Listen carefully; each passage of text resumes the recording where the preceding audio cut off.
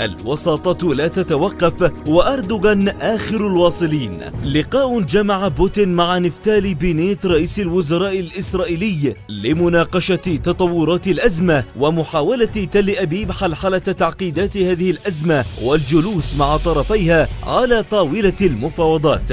في مشهد صار معتادا في العاصمة صافرة الإنذار تدوي في كييف وسط توقعات بهجوم روسي واسع. القوات الروسية تكثف عملياتها بشكل غير مسبوق في كييف ورصد لتحرك كثيف لكتيبة دبابات روسية في محيط العاصمة هل يعني ذلك رغبة موسكو حسم الحرب سريعا بإسقاط العاصمة؟ وهل يعني سقوط العاصمة انتهاء الحرب؟ بعد موافقة روسية على فتح ممرات إنسانية آمنة في المدن الأوكرانية آلاف الأوكرانيين يهربون من مدنهم بما في ذلك العاصمة كييف والمسؤولين المسؤولون الأوكران يحذرون من الاستعدادات الروسية في محيط كييف لاقتحامها. بينما خرج الرئيس الأوكراني فولوديمير زيلينسكي وناشد قادة دول العالم حماية الأوكرانيين وتزويدهم بالمعدات للدفاع عن أنفسهم. يقول زيلينسكي إن لم تدعمونا على الأقل بالطائرات وهو واجبكم فأنتم تريدون موتنا ببطء. هذه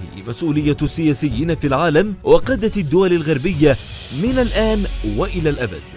السيطرة الجوية. الجو يحدث الفارق فمن يسيطر عليه يربح الحرب. إلحاح زيلينسكي على الغرب بدعمه بطائرات حربية ومقاتلة وعلى الرغم من امتلاكه لطائرات برقدر التركية والمجربة في عمليات مشابهة لكن زيلينسكي يريد طائرات مقاتلة لمعرفته بأهمية السيطرة على الأجواء. وهنا أكد وزير الخارجية الأمريكي سعي بلاده الحثيث لتمكين أوكرانيا من امتلاك طائرات حربية يحاول يحاول الغرب ضرب روسيا بدعم كييف بطائرات من الإرث السوفيتي. محكمة العدل الدولية تبدأ النظر في طلب أوكرانيا اتخاذ إجراءات عاجلة تدفع روسيا لوقف الحرب. وفي افتتاح الجلسة الأولى لهذه القضية شهدت الجلسة غياب ممثل عن روسيا. وفي الجلسة نفت أوكرانيا أمام المحكمة اتهامها بارتكاب إبادات جماعية في إقليم دونباس. وأكد ممثل أوكرانيا أن بلاده تواجه حربا عدوانية كما وصفها مطالبا بوقف الحرب فورا.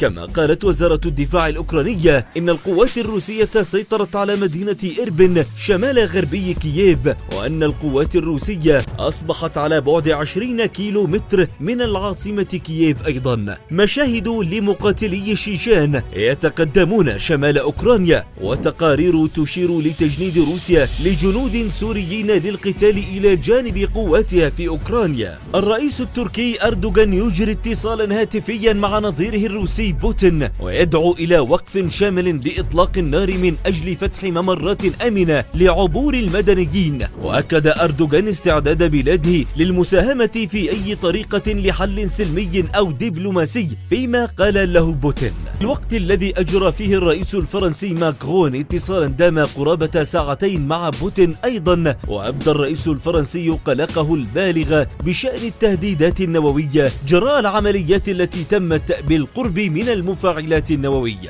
وزارة الدفاع الأوكرانية تصدر بيانا تقول فيه إن روسيا تدفع 95% من قواتها المشاركة منذ بداية الأزمة إلى أرض المعركة. وأضافت أن روسيا قد أطلقت 600 صاروخ على مختلف المناطق في أوكرانيا. بينما أكد البيان أن روسيا لم تستطع السيطرة على الأجواء الأوكرانية. وتضيف الوزارة الأوكرانية أن الجيش الأوكراني يشن هجوما معاكسا في خاركيف ويستعيد السيطرة على إحدى البلدات المهمة. وأضاف الجيش أنه حال دون سيطرة قوات روسيا على خطوط السكك الحديدية على نهر دينيبرو وأن القوات الروسية تتحرك باتجاه العاصمة كييف بعد السيطرة الكاملة على إيربن. الرئيس الأوكراني يعلن تدمير مطار فينيتسا بالكامل بعد استهداف المدينة بصواريخ روسية ليجدد بذلك مطالبته بإنشاء منطقة حظر جوي فوق أوكرانيا فهل لا يزال لديه وقت ليطالب بذلك؟ خصوصا وأن القوات الروسية على أبواب عاصمته كييف. أسوأ السيناريوهات في حال سقطت كييف بيد القوات الروسية. في خاركيف لم يكن أمام قوات كييف إلا الانسحاب داخل المدينة وبعد أن سيطرت عليها القوات الروسية تم استدراجهم إلى حرب الشوارع والعصابات وهذا هو السيناريو المتوقع إذا قررت القوات الروسية دخول كييف وهو آخر رهان للقوات الأوكرانية بإجراء قتال داخل الشوارع. هذا النوع من المعارك يصعب حسمه ويطيل أمد الحرب فالمواطنون ليس لديهم ما يخسرونه بعكس الجيش النظامي الذي يقاتلهم.